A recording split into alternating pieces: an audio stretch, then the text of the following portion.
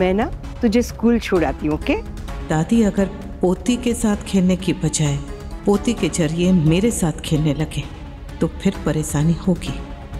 फिर इसके बाद एक स्पिन है ऐसे और फिर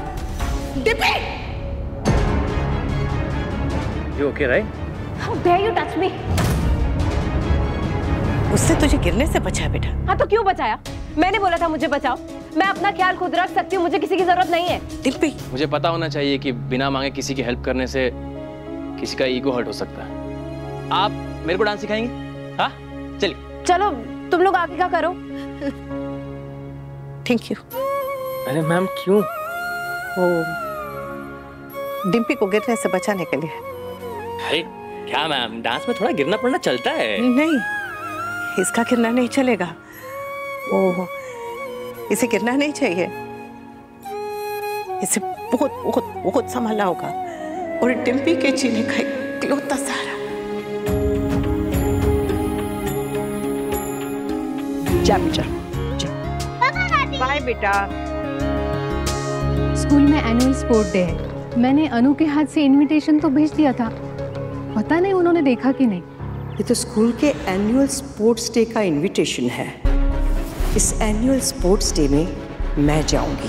हाँ हाँ उससे देखा है। स्टिल मैं उन्हें रिमाइंड करने के लिए एक बार कॉल करूँगी। नहीं मेरा मतलब है मैं बता दूँगी ना उन लोगों को। आपको तकलीफ़ लेने की कोई ज़रूरत नहीं। ओके थैंक्स मेरी पोती के एनुअल स्पोर्ट्स डे के दिन उसके पापा के साथ उसकी दादी आएगी। माँ नहीं।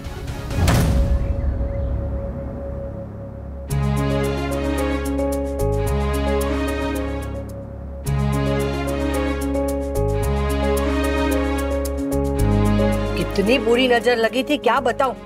मिर्ची भी जल गई और बाँस भी नहीं आई। अरे बाप रे। बहुत हँसी आ रही है। हम्म? एक सेकंड आइए।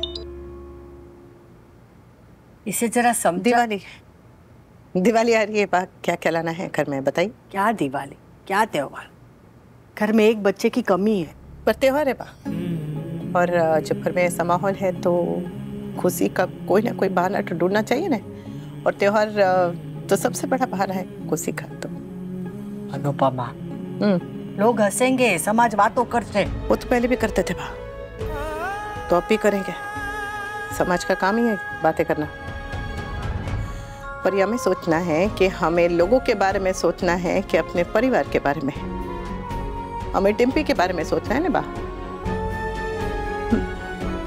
मेरा भी बेटा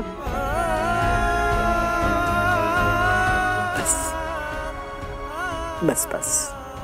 साची बात हम्म, हम खुश रहेंगे तो समर खुश रहेगा। जैसे नवरात्रि मना ली काव्या की गोद पर आई कर ली सिद्धि वाली भी कर लेंगे।